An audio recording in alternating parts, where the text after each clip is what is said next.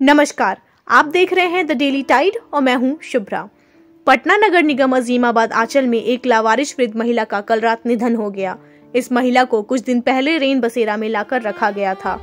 Rain बसेरा कर्मचारियों ने इनकी खूब सेवा भी की, पर कल रात इनका देहांत हो गया, जिसके बाद वहाँ के कर्मचारियों के द्वारा और वार्ड चौवन के पार्षद द्वारा आपसी सहयोग से इनकी अंतिम संस्कार पूरे रीति रिवाज के साथ खाजी कला घाट पर की गई। इस अंतिम संस्कार में अजीमाबाद आंचल के रेवेन्यू ऑफिसर रिजवान अंसारी ने पूरा सहयोग दिया।